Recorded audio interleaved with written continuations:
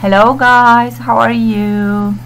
I hope that you enjoy your time at home and uh, I'm here to teach you science. Okay, let's start it. Today we want to review Unit 8 and then talk about one person that is so famous in the world and his name is Galileo. Okay, let's start it. This is Mr. Galileo. Hello, Mr. Galileo. Who are you? Okay, after this slide, we will talk about him. But at first, we want to review the night times and day times and what we can see in the sky in this these two times. Do you remember? Yes, I know. In the daytime, we can see the sun and clouds. Very good in the sky. And what is the sun? Did you know that our sun is actually a star? Yes very good. It's a star that is closest to earth. That's why it looks so bright. Yes and the sun is a bright star you can see in the daytime. And you can see in this picture yes? In this picture you can see the sun. And it is a bright star in the sky in the daytime. Very good. And then we want to talk about the telescope. What is the telescope? Do you remember? Yes. Telescope is a tool that helps us magnify things in the sky. And what the meaning of magnify?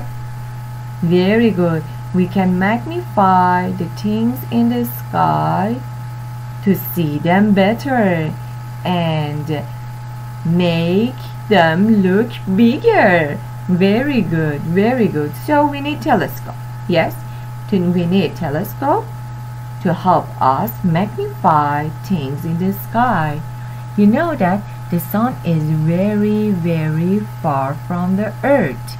Not just sun, all the things in the sky. They are very, very far from us. And because of this, we need something that help us to magnify them in the sky huh? Very good. So we want to talk now about the moon. We can see moon in the night times yes? And we talk about moon yes? What the meaning of moon? What is this? Yes Yes, yes, very good. The moon is a large sphere, or we can say moon is a ball of rock. Very good. And what is the sphere? Very good. Yes, exactly. The sphere is a round ball. Round ball. Very good. Very good. And do you know that the spheres are in solar systems called planets. Look in this picture under the sun picture. We have solar system picture and there are planets on this picture. Very good. Very good. Yes. So we understand that the spheres are in solar system very good and look at this picture again. We can see solar system. We call solar system because everything in it is centered around the sun. Look I want to show you. Look this is the sun. Yes. And these are this one planet planets that they are in the solar systems yes and solar means something to do with sun. Huh? Very good. So, you know, um, we talk about Mr. Galileo. Mr. Galileo, look, he used telescope and found that and found found out sorry and proved that earth moves around the sun. Earth moves around the sun. The sun is not moving don't forget. The sun is not moving and earth moves around the sun. You can see in this picture. This picture. This is the sun. I draw an X on this. And look the earth move around the sun. Oh I drew oh my god. What I did. So Mr. Galileo used his telescope to observe the sun and planets. We talk about the planets. Did you remember? Very good.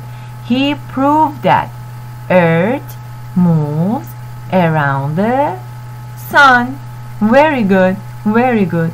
Now you understand that that the sun is not moving and the earth moves around the sun. Yes? Very good. So, we talk about the Mr. Galileo and he is so famous in the world and he proved that earth moves around the sun very good very good now I want to ask you please review this lesson with your mom or you can mm, ask your sister or uh, your brother and uh, uh, repeat uh, the sentence that means what the meaning of sun, what the meaning of moon, what the meaning of planet, what the meaning of uh, spheres. Very good. And thank you, thank you for watching this video and listening to this video. And don't forget that Miss Bahar loves you. Okay, bye bye.